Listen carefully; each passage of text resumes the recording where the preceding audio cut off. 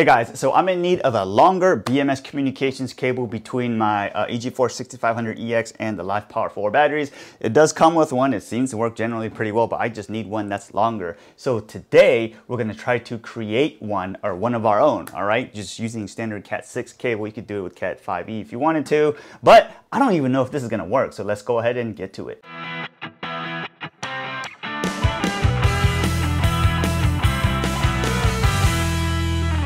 All right, in order to try to get this done today, let's talk about some of the tools we're gonna use. You're obviously gonna need some cable. This right here is Cat 6 cable. Uh, you could probably get done with Cat 5e. I probably actually recommend Cat 5e because easier to work with, but you know, this is Cat 6.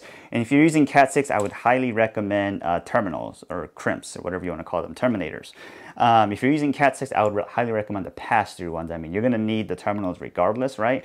But Cat 6, use pass-through because it's so much easier to work with. You'll see what I mean later. What I mean by pass-through is right here, the, the terminal is open so that the wires will pass through. If you get adjusted that angle, you can see, and then you can crimp them and cut them off. If you are using pass-through, you need to use the pass-through crimpers or else your life is just gonna suck. Trust me, you need the pass-through crimpers for pass-through terminals. Um, you don't wanna use the non-pass-through crimpers because it, you, it'll, it can, you can get it done. It's just gonna suck. Uh, obviously, boots, I like to go ahead and just get the boot on here quickly, mainly because, you know, I don't know how many times I've created cables and, you know, the boots were missing. Uh, I have two different colors. You know, you can use whatever you want, but I like to just delineate which side goes to the inverter versus which side goes to the battery. This right here is a Klein Tools uh, crimper, cutter, stripper, all in one. I would highly recommend this one. And no, this video is not sponsored. Nobody sent this to us. We did buy this. Uh, just with all the stuff that we've been using, I realized this one, uh, and there's another one from Ideal, I think that works pretty well. But I I really like this Klein Tools one because it works, you know, pretty well. Um, obviously some diagonal cutters and then some linesman pliers. You really don't need this one. I just kind of have it laying around just in case. But, you know, let's go ahead and get this started, all right? So if you need this tool, or if you need link or description of any of these tools, just check in the description. It'll be there, all right? So take your strippers, uh, put the wire through there, cut off as much as you need. Or if you're using pass-through, you could cut off more, mainly because you're just all going to cut them off. You could take that out, right? We're going to throw that out. We're gonna take this uh, rope here, we're gonna take our pliers, cut that out.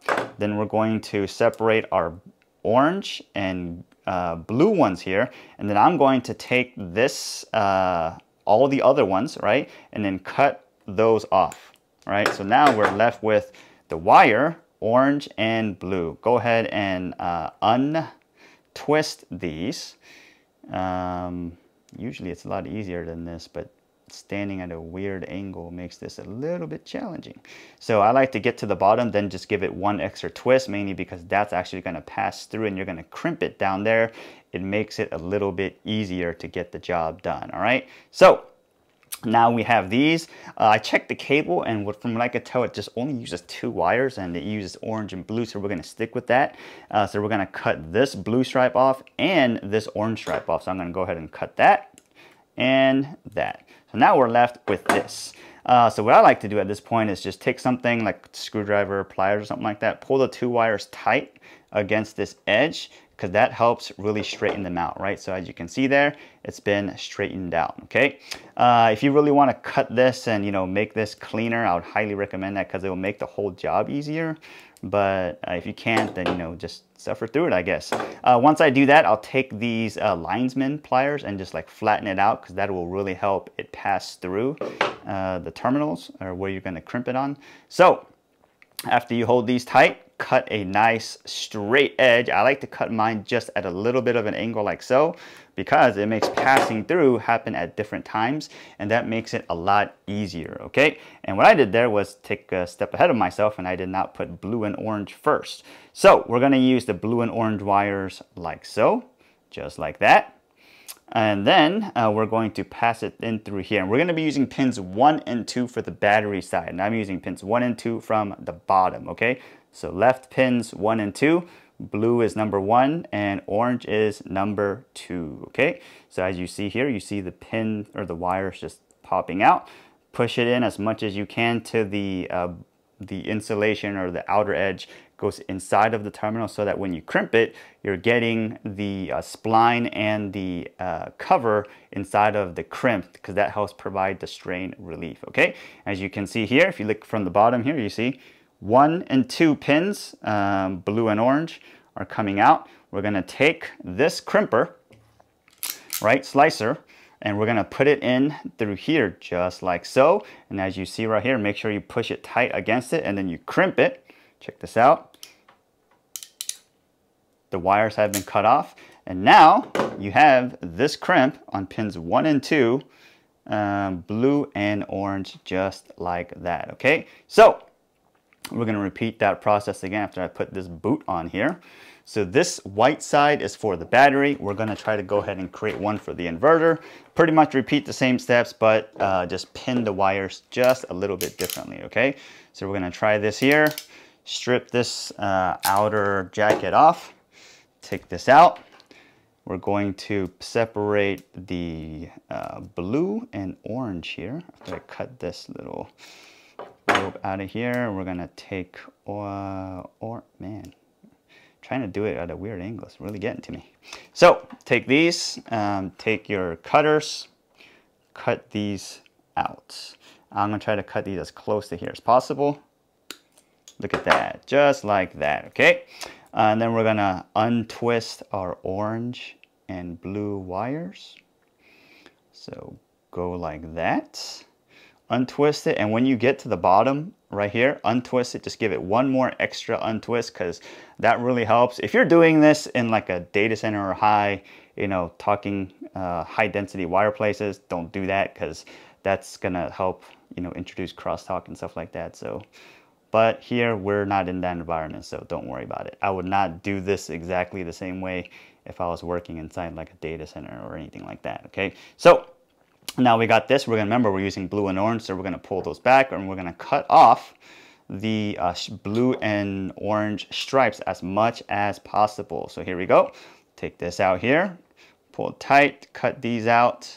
Don't cut the blue and orange wires, all right? So blue and orange, um, from the bottom, we're gonna be going blue first and then orange. So make sure it's like that and then pull the wires tight against a flat edge, which helps straighten them out. You see that? Uh, this one can probably afford to go again because I didn't do that very well. There you go, blue and orange. And then I'm going to come across and cut them at a angle, just like that. And then for the inverter side, we're gonna be going pins uh, three for blue and five for orange, okay? So this is the part where you're gonna have to pay close attention to because you wanna get pins one, two, three for blue, and then orange, you want to skip pin number four. So uh, that's failing miserably right there. There we go. So uh, you can always double check it right here before you pass it through as you can see, or maybe you can't see because we can't focus here. The blue is on pin three and then the orange one is on pin five, okay? And that's why I highly recommend using the pass-through, mainly because it makes this part so much easier. And I forgot to uh, just push this down with the linesman pliers, which will help this part right here. I'm sure passing through all five cables, you know, makes it easy, but I don't know what the other cables are used for on this EG4 system, so I'm not gonna do that, or all the, the other wires and pins, okay? So just do one final check before you do the crimp. Look here, three and five, uh, blue and orange, all right? And as I was telling you earlier, I forgot about this. Uh, do I wanna go ahead and pull that out and put this in? And let's go with the yes because I don't want to repeat this. All right, so we'll be right back. And with the magic of editing, we are back. So all I did was just take it off, put the boot on and come back. As you can see here, the blue and orange is still on pin three and five. All right, so we're gonna take our crimper. We're gonna take this, drop it in here like so. Make sure, like I said, the bulk of the meat of the cable is past this uh, strain relief point. Put it in through here. As you can see here, let's crimp this down. There you go. You can pull it out. You can always do a tug test, right? But look at it. So we got pin three and five, three on blue and then orange on five. So that's what it looks like. Pass-through connectors are awesome, okay? So let's go over, take this over to our inverter and battery and see if the communication actually works, all right? All right, and here we are at the system, okay? So just to show you uh, that this system does actually work, this is what the uh, original uh, battery cable came with, or the BMS communications cable. I believe if you go in here, you can look at setting, I think it was five or something like that, which tells you the battery. So battery communication, we're using EG4 protocol, this communication cable does work, okay? Just to show you that it is, what's actually working is, take and unplug it, and should throw an error. Look at that, fault error code 61, okay? Here's our cable. If I remember correctly, we said the black side goes to the inverter. So we're gonna go ahead and plug this into the uh, BMS communications port. Uh, maybe not BMS, but the communications port. And then we're gonna take this white side and plug it into our battery bank here below. All right, here we go. And just like that, the fault has gone away and the cable does work, okay? Uh, let's see how much sunlight we're actually getting here on PV1. I only got one PV connected. We're getting 643 watts of solar in. So if you want to create the cable, it does work, all right? All right, look at that, it worked, all right? So I'm really glad that it worked because I wasn't sure if it was gonna work or not. I didn't test it or create ahead of time. We just, you know, tried it for the first time. So I'm glad that it worked. Hope this video helped you guys out. I know there's been a lot of, you know, uh, forum posts and stuff like that. So I tried to figure out which pins go to what and I couldn't find a really clear answer directly. So I just looked at it and then let's see, we could just create one, all right? So that's how you do it. Hope this video has helped you out just in case you wanted, you know, uh, to make your own or you lost it or it got pulled out or broken or you just need it longer. That's how you would do it, okay? So if you, like I said, if you need a link or something like that to any of the tools that we use in this video, check the description below and it should be there. Otherwise, hope this video helped you guys out. Have a great day and we'll see you guys next time.